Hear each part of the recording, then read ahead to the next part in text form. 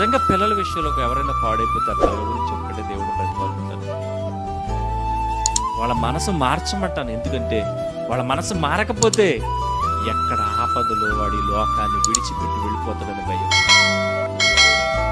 లోకాన్ని విడిచిపెట్టి వెళ్ళిపోతాడు. ఎందుకో తెలుసా? చెప్పేశాడు. సౌలమని గారు చెప్పాడు. దేవుడు చెప్పాడు నీవు దీర్ఘాయుషమంతుడు అవ్వాలి అంటే తల్లిదండ్రులు సన్మానించాలి.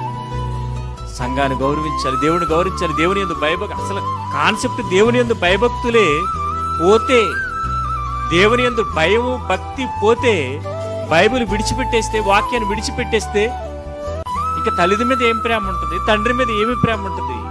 తల్లిదండ్రులు సన్మానించాలి తల్లిదండ్రుల మాట విని వాళ్ళని గౌరవించాలన్న ఆ పదాలు ఆ ఆలోచనలు లేకుండా ఎందుకు పోతాడంటే భయము భక్తి పోయినప్పుడు ఇక తల్లి తండ్రా? పెద్దల పిల్లల గౌరవం ఏముంటుంది చెప్పండి? నాశనం అంటే నాశనం వెళ్ళిపోతారు. అలా వెళ్ళిపోయి వెళ్ళిపోయి వెళ్ళిపోయి వెళ్ళిపోయి ఎవరు తెలుసా?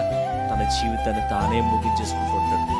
అందుకే చెప్పాడు దేవుడు నా త్రోవలలో నడవకపోతే శిక్షలు ఇచ్చుకుంటూనే వచ్చాను. ఎప్పుడు విడిచిపెట్టలేదు. ఆ రోజు నుంచి ఈ రోజు వరకు నేను విడిచిపెట్టలేదు. విధిస్తూనే ఉన్నాను. అందుకే చెప్తున్నాను దీర్ఘాయుష్మంతుడు అవ్వాలన్నా నాయందు భయ నాయందు లక్ష్యం ఉంచి నువ్వు బ్రతకాలి అన్నా. జాగ్రత్త నా సన్నిధిలో జాగ్రత్త సుమా అన్నాడు అందుకే నేర్పించమన్నాడు. తల్లిదండ్రులకు బాధ్యతనిచ్చాడు.